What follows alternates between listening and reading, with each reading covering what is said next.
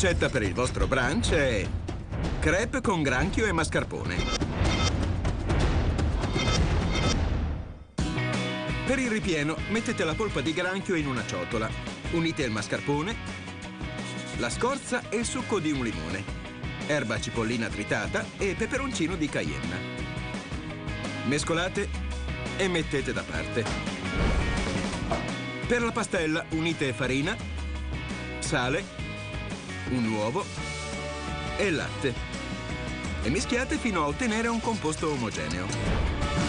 Mettete l'olio in una padella antiaderente e versate un mestolino di pastella muovendo la padella per distribuire il composto uniformemente. Quando un lato sarà dorato, girate e cuocete. Mettete al centro della crepe un cucchiaio del ripieno e arrotolatela. Guarnite con erba cipollina e divoratela. Crepe con granchio e mascarpone.